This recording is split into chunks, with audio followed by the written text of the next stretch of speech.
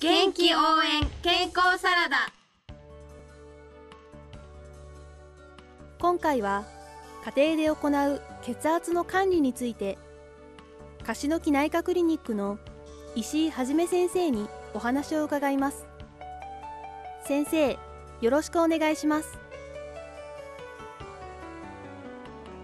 樫木内科の石井と言います。今日はよろしくお願いします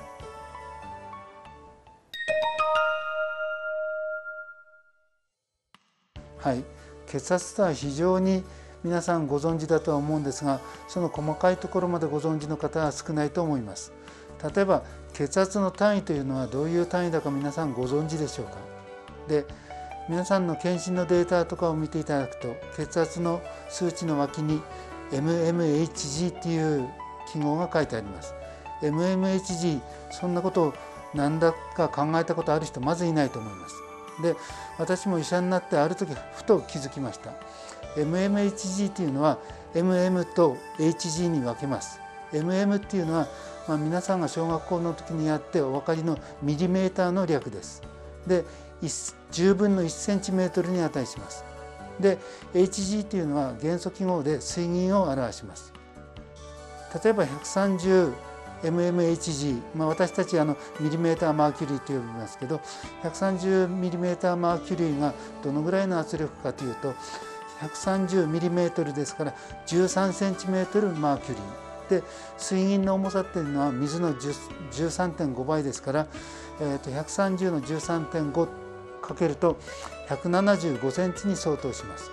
で皆さんの血圧が130ということは175センチ1メーター75センチほどの噴水が上がるような圧力が血管にぶつかっているわけです。心臓というのは1日に約10万回動きます。ってことは1メーター80センチ近い圧力が10万回血管にぶつかっているわけです。ですからいくら柔らかい血管でもいつかは血管がそのぶつかりによって動脈硬化を起こしてきます。その動脈硬化を起こすと血管が硬くなる。硬くなると血液の流れが悪くなる。そうするとまた血圧が上がるという悪循環になってどんどんどんどん血圧が上がってしまいます。でその延長上に脳出血脳梗塞心筋梗塞あとは最近多いのは心臓から出てくる大動脈というところの動脈瘤の破裂とか動脈瘤こういうので命に危険が持たされるわけです。ですから血圧に関しては是非とも自分でお家で測って自分の血圧がどのぐらいであるかを確認することが大事です。高血圧の研究の中には大波様スタディという有名な研究があります。それは岩手県にある大波様町。今では花巻市に属していますがこの大波様町で行われた家庭血圧を測る研究です。で住民に家庭血圧計を渡して朝夜に血圧を測っていただくような研究です。私たちも参加したんですがこの大波様研究によって分かったことが家庭血圧を測ることによって病院の血圧よりも家庭血圧計の値の方が動脈硬化により直結することが分かりました。その他に大波様町の寿命というのが近隣の市町村よりも長くなったという家庭血を測ることによって寿命が長くなったというすごく大きなメリットもありました。これが大波様研究です。ですから皆さんもお家で血圧を測ることが大事です。まあ、有名な話ですが医者に行くと血圧が高い。検診では血圧が高い。だけどお家では血圧は高くない。そういう方は白衣性高血圧といってあまり体に害はありません。で20年前30年前は白衣性高血圧は放置可能という話でしたが最近は白衣性高血圧も徐々に高血圧になってくる患者さんもいるので白衣性高血圧の患者さんもぜひとも定期的に血圧を測る必要があります。日本高血圧学会では血圧の測定は1日朝夕2回測ることを推奨しています。で朝は起きて1時間以内。排尿を済ましてからご飯や薬を飲む前に測ることが勧められています。あともう1回は夜寝る前に測ります。で夜寝る前というのはお風呂に入ったりお酒を飲んだりする人は血圧が血管が開くために下がる傾向にありますのでそういう方は夕食前に測るのもいい方法かと思います。自分で血圧を測って最近の血圧の基準としては自宅の血圧が125の75これはあの75歳までの話なんですが75歳までは自宅の血圧が125の75を超すと高血圧とお考えください。で75歳以上の人は135の85を超すと高血圧と考えます。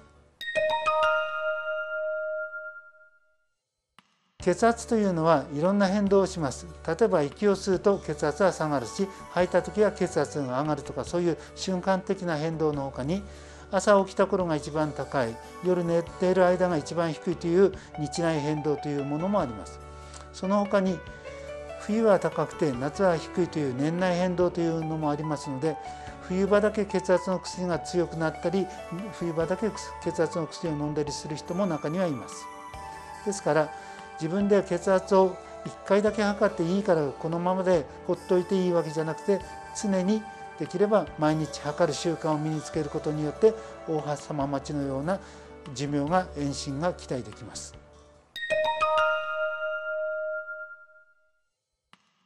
で皆さんが自分で血圧を高いと認識した際にどのようなことができるかです。有名なのが一番は塩分制限です。伊達市の検診の最近の塩分摂取量は男性で 10.0g 女性で 9.6g とお聞きしています。実はこれは福島県内ではかなりいい方なんです。最近の新たなデータによるともう少し下がっている傾向もあるように思われますのでそれは皆さん方の努力および保健師さんや栄養士さんたちのご指導があるからと思います。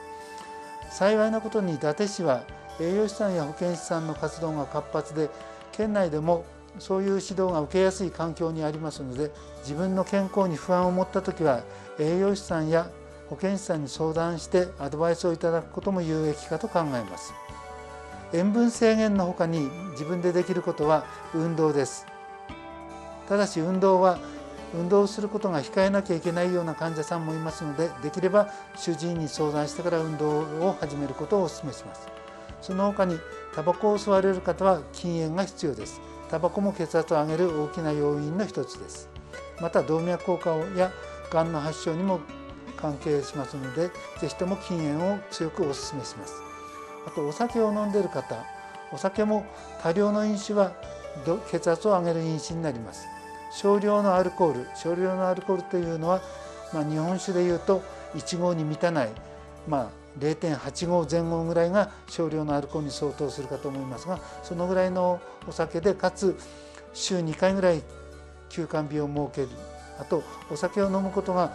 医師から禁じられている人はこの限りではありませんがお酒も血圧を上げる要因ですので是非ともその辺りもお控えください。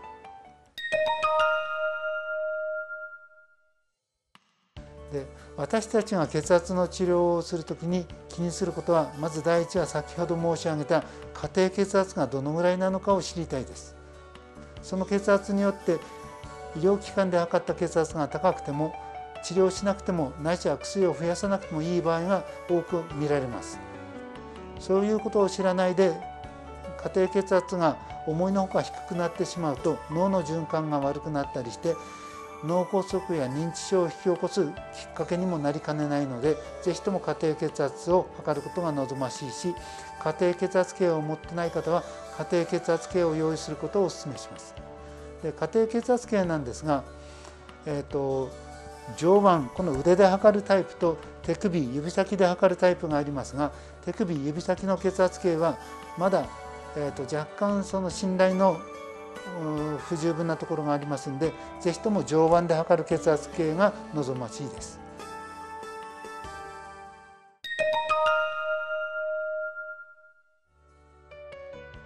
あと大事なことは血圧だけに注意するのではなく動脈硬化を起こす原因には血圧のほかに大きな項目でいうと5つあります。体重コレステロール中性脂肪肥満タバコこれらです。これら全てをコントロールすることによって動脈硬化への予防につながります。そういうのを私たちは包括的管理包括的治療と言います。2010年に高血圧学会が福岡で行われた際にその時のタイトルが、えー、と今お示ししているようなタイトルになっております。包括的管理。それまでは高血圧学会というと血圧の話ばっかりだったのが血圧以外にも目を向けて全体をコントロールしなきゃいけないということを言われて私は非常に感銘を受けました。是非とも皆さん自分の血管を守るために血圧および血圧のその他の糖尿やコレステロール肥満タバコ等々を管理するように検診の結果をもう一度眺め直して心配な時には医療機関ないしは市役所の保健センターにご相談されることをお勧めします今回は家庭で行う血圧の管理について樫木内科クリニックの石井はじめ先生にお話を伺いました先生ありがとうございました。